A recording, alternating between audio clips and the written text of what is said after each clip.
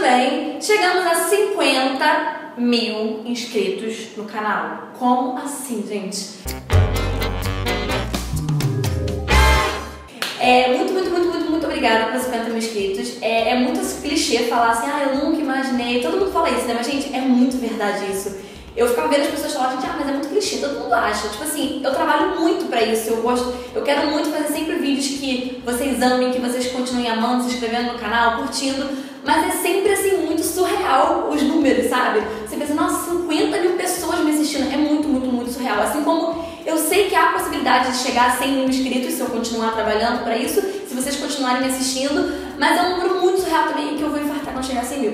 Então, para comemorar 50 mil inscritos, eu decidi fazer um vídeo que tem meio a ver. Então, 50 mil inscritos, 50 fatos sobre mim. Muita gente já pediu esse vídeo, tipo, há muito, muito, muito tempo, desde que o canal tinha acho que 10 mil inscritos. E eu não tinha feito ainda por motivos de preguiça, eu tava com preguiça de escrever 50 fatos sobre mim. Sim, eu falei, não, vou parar, vou colocar, porque 50 mil, 50 fatos sobre mim, acho que combinou. Então vamos lá, pra poder não ficar o vídeo muito longo, que eu vou contar já o primeiro fato sobre mim, e vocês vão me conhecer pra caramba nesse vídeo, então Senhor. Primeiro fato sobre mim é que eu fiz intercâmbio nos Estados Unidos, né? O meu canal é, começou sobre o meu intercâmbio. Fiz intercâmbio nos Estados Unidos durante um ano e meio pelo Ciência Sem Fronteiras. Segundo fato sobre mim é que eu falo inglês fluente. Muita gente pode achar que meu inglês é uma bosta, ok. Mas eu falo inglês fluente, consigo me comunicar, tudo direitinho, ok, não tem grandes problemas. Então eu considero que eu falo inglês fluente. Terceiro fato sobre mim, acho que deveria ser o primeiro, mas na verdade é o terceiro, que eu como o tempo todo. Eu tô comendo o tempo todo, o tempo todo eu estou comendo. Ou seja, eu acabei de comer antes de começar este vídeo. E daqui a pouco, quando eu terminar esse vídeo, talvez eu vá comer de novo. Então eu como o tempo todo, sim. Quarto fato sobre mim é que eu sou louca por cachorro. Eu sou apaixonada. Tipo, estilo feliz. Eu sou, tipo, da vontade de pegar as cabeças de cachorro tacar na parede.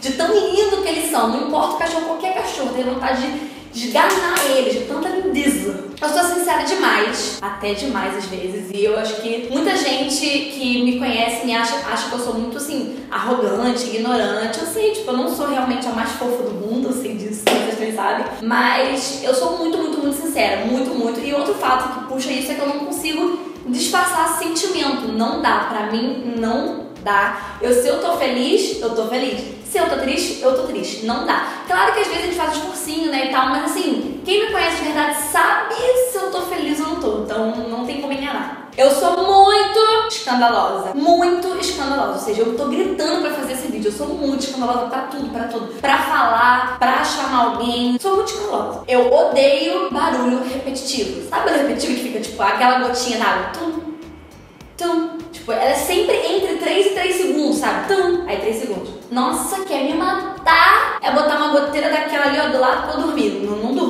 não não. Não. Eu fico nervoso aqui, ó, nervoso. Eu amo escutar música e eu escuto música pra tudo, tudo. Às vezes, gente, sério, eu escuto música editando vídeo. Porque eu sinto um vazio quando eu não tô escutando música. Pra estudar, música. Pra trabalhar, música. Pra música. Pra correr, música. Pra música. Tudo eu escuto música. Tudo. Meu dedo é elástico. Olha o que meu dedo faz sei se pra você é muito interessante, mas meu dedo é elástico. Nunca fiz nada de química no cabelo, tipo, só cortar mesmo e prancha, escova, mas nunca fiz nenhum tipo alisamento, nenhum, nunca pintei, na verdade eu quero muito pintar em breve.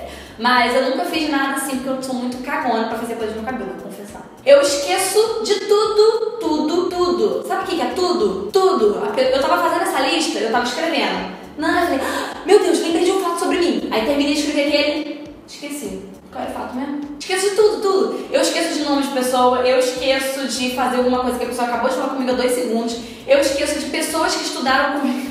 Sim, gente, desculpa se eu esqueci de você, mas eu esqueço, as pessoas não estão na minha vida constantemente e ela, tipo, foi alguém que estudou comigo no ensino fundamental. Sim, eu lembro de fulano. Não lembro, não adianta, eu não lembro, não adianta forçar que eu não lembro. Eu não consigo dormir cedo. Eu não sei, eu tenho um problema, mas tem um bichinho da noite que não me deixa dormir cedo. Cíntia, da manhã você tem que acordar 5 horas da manhã. Eu vou dormir duas. Só se eu tiver uma rotina de trabalho que eu tenho que acordar cedo todo dia e eu acabo cansando, né? E vou acabando dormir mais cedo. Mas se dormir mais cedo, tipo meia-noite. Nem que eu tenha que acordar todo dia cedo da manhã. Mais ou menos meia-noite que vou dormir. Não consigo dormir cedo, não adianta. Eu sempre deixo restinhos de líquido no copo. O que, que é isso? Você vai lá, bota uma coisa que você bebeu, um Nescau, um suco, eu sempre deixo um dedinho no fundo. Não sei que, que macumba é essa que eu tenho, não sei o que, que isso que tem em mim, mas toda vez que eu vou beber alguma coisa, eu deixo um dedinho. O Rafael fica muito irritado comigo, porque eu sempre deixo um dedinho, ele quer me fazer engolir quando eu abaixo, mas eu sempre deixo um dedinho, não sei, eu sempre coloco um dedinho mais, eu vou começar a colocar um dedinho a menos. Eu sempre gostei de estudar línguas, tanto que quando eu estava nos Estados Unidos eu estudei francês em inglês. E eu sei de francês. Não, não pouco, só um pouquinho. Sei um pouquinho de francês, alguns verbos, alguns sujeitos e tal, mas não muito. Eu sempre fui muito, muito, muito, muito apaixonada de inglês. Tanto que eu escrevi um e-book pra vocês que é de graça. Então, só basta clicar aqui embaixo, você consegue baixar o e-book, que é sobre dicas de como você conseguir se libertar desse negócio de medo de falar inglês, essas coisas aí. Baixa aí pra tu ver, tá bem o link aqui embaixo. Eu meio que, tipo, palavra meio forte, mas acho que é que representa, que eu odeio ler. Sim, sente mais meio contraditório, né? Você gosta de aprender coisa nova e tal, mas não gosta de ler. Eu tenho muita preguiça de ler. Muita preguiça de ler. Eu acho que os únicos dois livros que eu, li, que eu li na minha vida, assim, com gosto. O primeiro que eu li foi A Culpa das Estrelas e o segundo foi o livro da Kéfera, que eu li há pouco tempo, mas assim, que eu li assim mesmo, gostando, que eu li no máximo uma semana. Que minha irmã lê, tipo, em um dia, mas eu não consigo. Eu sou muito, muito, muito preguiçosa pra ler, muito, se tiver um texto grande, então, ah, Jesus! Eu gosto muito, muito, muito de mandar, sim. Eu adoro governar, mandar, eu gosto de liderar alguma coisa. Tiver um grupo de pessoas, eu gosto de dividir tarefa. Você faz isso, você faz isso, você faz isso. Eu gosto de muito, muito, muito. Eu tenho prazer em liderar as pessoas. Não sei, talvez isso seja ruim, talvez seja bom, não sei. Quando eu passo por alguém fumando na rua, eu sempre prendo a respiração, já é automático. Eu odeio, odeio, odeio fumaça de cigarro. Toda vez que eu passo por alguém, eu prendo a respiração. E se tiver alguém fumando perto de mim num lugar fechado, eu começo a tossir na cara da pessoa pra poder ela perceber que ela está, né? Pra dar um só, ser mancol, entendeu? Eu odeio, odeio, odeio calor, sim. Eu tô numa onda assim, porque eu também tô. Eu odeio assim muita neve. Eu acho que é sempre assim, uma coisa. Ok, um outono. Outono é sempre legal de deixar no quintal, entendeu? Calor, tipo, pá! 50 graus, não, não, não gosto. Até porque quem gosta, né, gente? Deus. Se deixar, eu fico no YouTube o dia inteiro assistindo vídeos atrás de vídeos, atrás de vídeos, atrás de vídeos. Eu sou muito viciada no YouTube, tanto que, né?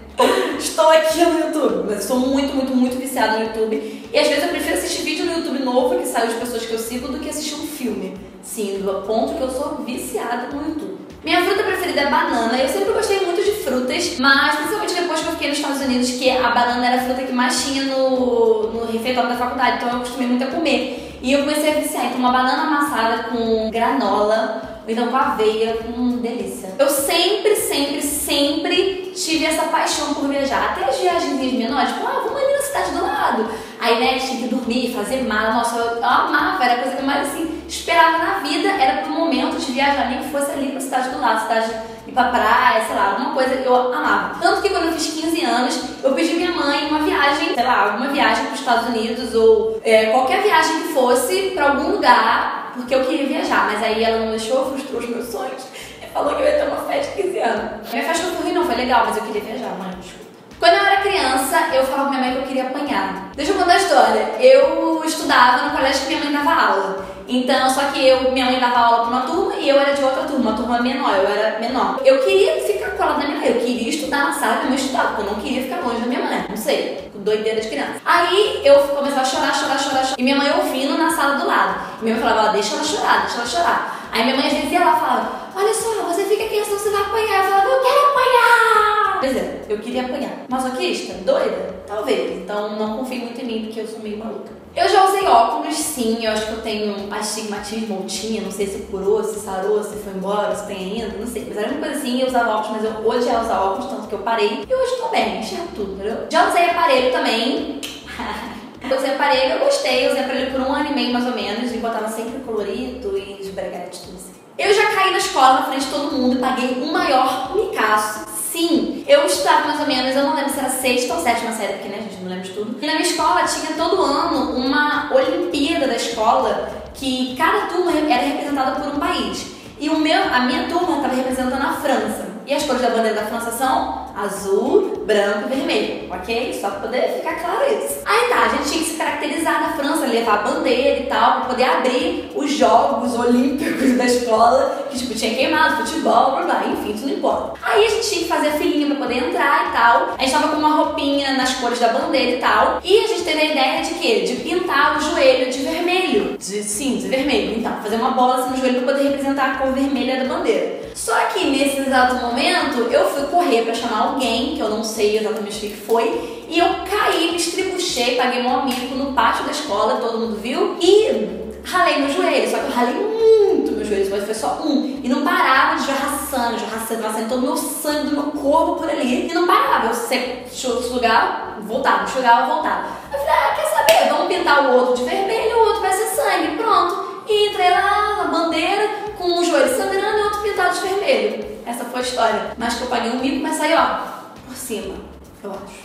Eu sou bem alta, eu tenho mais ou menos 1,74 de altura, não sei quanto é exatamente, mas eu acho que é por volta de 1,74. E uma curiosidade é que no último encontrinho, o Jonathan, ele falou assim, nossa, você parece tão mais baixa nos vídeos, tipo, me enganou. Eu falei, sério? Eu não quero parecer tão baixa, eu gosto de ser alta.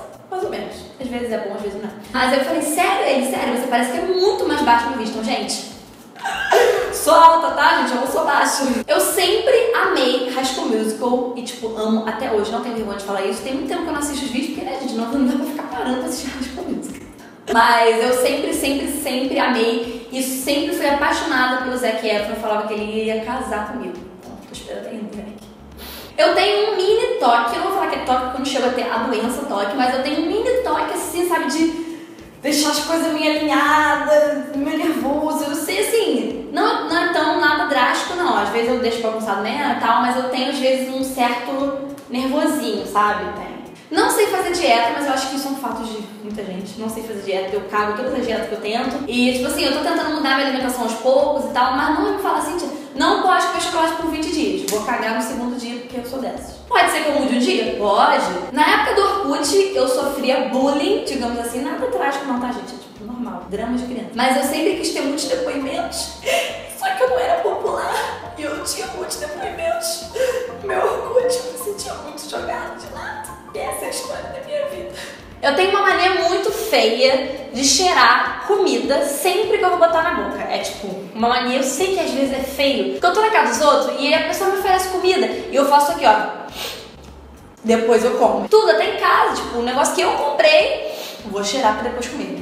Mania. Às vezes na casa é feio, né? Mas eu não consigo, eu sempre faço. Eu tenho outra mania muito estranha que eu descobri que minha mãe tem a mesma mania que eu, gente. Então se você tem essa mania, Fala aqui embaixo, por favor, pra eu não me sentir sozinha junto com minha mãe nesse mundo. Eu tenho uma mania, não sei se vocês vão entender, mas por exemplo, quando você tá passando um arquivo pro seu computador, da sua câmera, um exemplo, aí tá lá carregando, aí tem o botão de cancelar. Eu tenho um nervosinho de apertar no cancelar. Meu dedo fica assim, ó, coçando pra apertar no cancelar. Eu não sei que doença é essa, gente. Me ajuda a tratar isso. Porque aí eu boto pra passar. Quando tá quase terminando, eu clico em cancelar e tem que começar tudo de novo. Eu tenho mania de. O, o, o vermelhinho me chama assim pra eu fechar a aba do negócio que eu tô fazendo. Aí eu tenho que fechar e depois abrir tudo de novo. É meio estranho, né? Meio doente. Então. Eu já tive aulas de violão, mas eu não me interessei muito por tocar violão. Meu pai que tipo me colocou na aula para poder ver se eu queria aprender, porque ele sempre quis ter uma filha que tocasse violão, mas não deu certo nem comigo nem com minha irmã, a gente não gostou. Saiu da aula, tipo, a gente odiava pra aula. Ele até deu um violão pra gente, mas a gente não toca, então se alguém quiser um violão, tem tá? Uma vez quando eu comecei a usar garfo, tipo, sair do, da colher e começar a usar garfo, minha mãe deixava usar, começar a usar garfo e tal, eu tive um trauma porque eu fui comer, só que eu era agressiva até pra comer, entendeu? Aí eu fui comer, eu apertei o garfo assim, com toda a força do mundo, e o garfo agarrou no meu beijo e ficou agarrado, e começou a sangrar, e eu tomei um trauma de garfo. E eu fiquei um bom tempo sem comer de garfo, só de colher, mas hoje eu como de garfo, tipo, estou curada. Eu tenho pavor de filmes de terror, mas sabe o que é pavor? Pavor de que se eu for assistir, eu vou ficar três semanas tendo pesadelo. Tá, três semanas é exagero. Mas eu vou ficar tendo pesadelo muito. Tipo, antes de assistir um filme de terror, se eu pensar no filme de terror, talvez já tenha pesadelo. Então, não me, me, me dê filme de terror pra assistir, porque não dá pra mim, não dá, não tem psicológico pra isso. Eu trabalhei pra poder comprar o meu primeiro computador, então meu primeiro computadorzinho foi em 2000, 2009, não, 2010, quando eu comprei meu primeiro computador e eu trabalhei pra comprar ele parcelado em 72 vezes. Mentira. Acho que foi em 12 vezes, mas assim, fiquei ano inteiro pagando o computador. Ele existe até hoje, não é mais o meu computador, mas existe até hoje. Já fui também professora de inglês para crianças desde 6 anos até 12 anos, mais ou menos, eu já passei a minha mochila de plástico. Tipo, Cíntia, como assim? Quando eu era criança, eu acho que na minha geração, assim, dos 20, 25 anos, pessoal que quando era criança já deve ter passado por isso. Comprar uma mochila era muito caro, então o que a gente fazia? A gente pedia para alguém fazer uma mochila de pano e colocava um desenho que a gente queria uma foto de algum artista e passava um plásticozinho por cima. E às vezes até vendia nas lojas essas mochilas assim. E esse era um plástico, né? Obviamente, plástico visualizou, ok. Teve um certo dia que eu fiquei curiosa. Falei, gente, o que será que vai acontecer se eu passar a minha mochila? Aí eu fui, esquendei o ferro sozinha em casa e passei minha mochila. Tudo bem que eu acho que eu não tinha 5 anos, eu tinha uns 10. Mas é vergonhoso, né? Falar que eu tinha 3 anos e fiz isso. Pois é, eu passei minha mochila de plástico, aí quando eu encostei o ferro. O plástico comeu todo, eu tive ainda que contar esta trágica história pra minha mãe, ela ainda brigou comigo. Ou seja, eu sofri duas vezes. Eu já tive minha fase meio emo, tinha mais ou menos uns 12 anos e eu só tinha roupa preta no meu guarda-roupa. Apenas roupa preta, eu não tinha uma. Gente, não tinha! Só tinha jeans preto. Tinha vestido preto, blusa preta, era tudo preto, eu juro pra você, era tudo preto. Até que em um determinado momento, tem bastante tempo isso, mas eu comprei um vestido todo colorido, tipo, não tinha nem um de preto, era todo colorido. E minha mãe falava que era vestido de pavão, que ele era muito, muito, muito, muito colorido. Foi nesse momento que eu comecei a me. Eu gostei de mim colorida, sabe? Porque eu achava que chamava muita atenção. Mas eu gostei, comecei a usar roupa colorida desde aí. Hoje eu sou toda colorida. Adoro estampa e tudo muito colorido. Minha série preferida é Grey's Anatomy. Grey's Anatomy. Tá, Grey's Anatomy. Eu amo, amo, amo, amo, amo de paixão. Já assisti todas as 12 temporadas até o momento. Vai sair no episódio, eu vou assistindo igual uma desesperada porque eu amo. Já até pensei em reassistir tudo. Mas me diga que isso seria muito maluca de fazer isso, porque né, é muita coisa. Então, não sei. Quando eu tinha 17 anos, eu tinha um escorrego de brinquedo lá em casa, era um escorrego de plástico. E eu amava passar shampoo no escorrego e jogar água. Ou seja, eu ficava muito escorregadinho, eu ficava ali o dia inteiro brincando com aquilo, igual retardada. Quando eu era mais ou menos nessa fase assim, retardada e tal, não lembro mais a idade, mas eu cortei o cabelo da minha boneca. Tinha uma boneca estrela, que era tipo do meu tamanho, basicamente. E não do meu tamanho agora, né, gente? Do meu tamanho quando eu era criança. E eu cortei o cabelo dela, tipo aqui, o cabelo dela era bem aqui assim, eu cortei o cabelo dela aqui. E eu falei, minha mãe, ah, mãe, vai crescer, problema não. Aí minha mãe olhou pra mim dentro e pensava, filha, tão nova já com problemas. E nessa fase de cortar cabelo, eu já cortei também o meu próprio cabelo. Não, não se eu tava em casa sozinha ou se. Não, acho que eu tava em casa sozinha não, porque eu era muito criança. Mas acho que eu tava no quarto sozinha, minha mãe tava junto com o mundo da casa. E eu peguei aquelas tesourinhas de cortar unha e comecei a cortar. Fiquei com o cabelo todo picotado, todo estranho. Cortei a franja, minha franja ficou assim, com um negócio assim pra frente. Aí minha mãe chegou no quarto. Sente, o que, que você fez? Escandalosa, dizendo igual a mim, né? Sente, o que você fez? Lá. Aí eu, com a tesoura na mão, com o cabelo cortado na mão, não fiz nada, mãe, não fui eu. Já tive cara de pau de mentir que eu não cortei meu cabelo. né? Eu faço uma pipoca doce, ótima, igualzinho pipoca de pipoqueiro. Claro que eu tenho que ter a panela de pipoqueiro, mas eu faço uma pipoca maravilhosa. Não compre. Se quiser, lá em casa que eu faço pra tudo? Eu nunca morei em apartamento, então eu tenho muita vontade de morar em apartamento ou condomínio. Nunca, nunca, nunca, nunca morei. Eu, sempre achava legal que minhas amigas moravam. Ela tinha outros amiguinhos pra brincar assim no condomínio, não era tão perigoso e tal. Mas eu sempre, sempre, sempre morei em casa. Então nunca morei em apartamento nem em condomínio, porque minha mãe acha muito apertado. Eu já tive aula de Libras. Não sei mais nada hoje, mas eu já tive. Quando eu era criança, eu tinha um cabelo muito, muito, cachinho, cachinho, cachinho, cachinho. E meu tio ficava me perturbando, falando que ia roubar os meus cachinhos. E eu, como uma criança desmiolada que sou, como você já pode ver durante todo este vídeo, eu começava a chorar e correr pra minha mãe falando que meu tio estava roubando o meu cabelo. Porque ele fazia assim, ó, vou roubar seu cachinho, fazia assim, ó.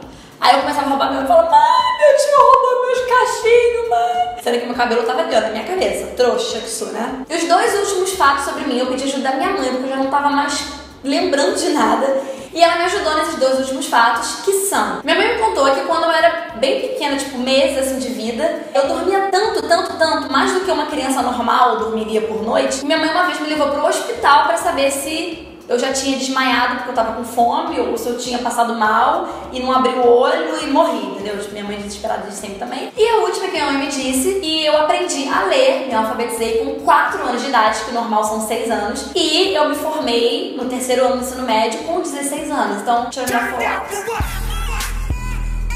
Ha! Não quer dizer nada, Cintia. Caguei por sua informação. Mas me senti um pouco inteligente. Deixa eu me sentir inteligente. Obrigada. E esses são os 50 fatos sobre minzinha. E agora vocês me conhecem muito mais. Eu não sabia que eu tinha tantos fatos interessantes na minha vida. Mas até que tem alguns, né? Sou, sou legalzinha, sou interessantezinha. Então já que eu sou interessantezinha, se inscreve no canal. Que aí você recebe todos os próximos vídeos. E sabe mais sobre mim, me conhece mais, ok? Ok? Eu amei fazer esse vídeo, eu fiquei morrendo de rir fazendo essa lista, tipo, morrendo, morrendo de rir, minha irmã. E foi muito divertido lembrar dessas coisas do passado e tal. Então eu espero que vocês tenham gostado. Então se você gostou, clique em gostei. Se você tem algum fato bizarro ou alguma coisa que não seja tão bizarro, mas que você seja igual a mim, comenta aqui embaixo. pra eu saber que nós somos parecidos em algo, tá bom? Um beijo e me segue nas redes sociais também, ó. Sou Cindy Sabino em todas elas, tá bom? Beijo e até o próximo vídeo. Tchau!